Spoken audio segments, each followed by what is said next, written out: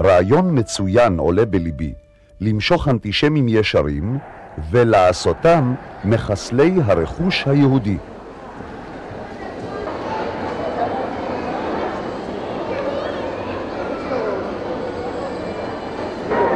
יש פה משפט, אני רוצה שתקרא אותו בקול ותגיד לי מי היה יכול להגיד דבר כזה.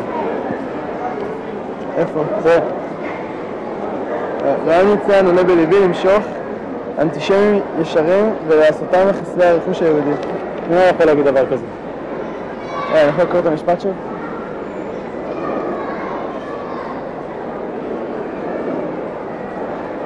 אני לא יודע, בטח היטלר, מלחמת העולם השנייה, דברים כאלה.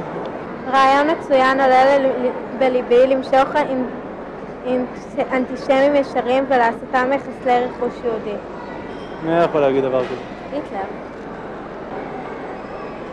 היטלר? היטלר. רעיון מצוין עולה בליבי למשוך אנטישמים ישרים ולעשותם מחסלי הרכוש היהודי. מי אתה חושב היה יכול להגיד דבר כזה? היטלר. אם הייתי אומר לך שהרצל, חוזה המדינה, אמר את זה, היית אה. מאמין לי? לא. אם אני אומר לך שהרצל אמר את זה? אז אני בשוק. אם הייתי אומר לך שהרצל אמר את זה, את מאמינה לי? אה, לא. אבל לפי דעתי כאילו יותר כדי לזכור את הרצל בתור דמות חיובית אה, אתה לא חושב שזה ניסיון מכוון להסתיר מכם משהו שהם לא רוצים שתדעו? אה, יכול להיות, אתה יודע מה? חושב שצריך ללמד את זה? לא יודעת, אולי. כן, בטח. בטח שצריך, אנשים צריכים לדעת את האמת. אם אני אומר לך שהרצל אמר את זה?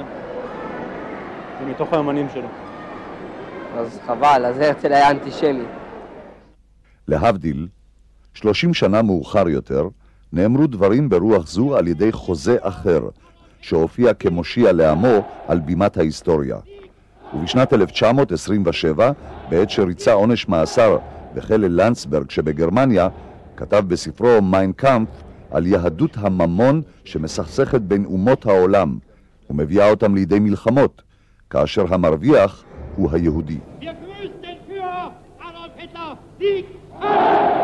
Wenn es dem internationalen Finanzjudentum in und außerhalb Europas gelingen sollte, die Völker noch einmal in einen Weltkrieg zu stürzen, dann wird das Ergebnis nicht der Sieg des Judentums sein, sondern die Vernichtung der jüdischen Rasse in Europa.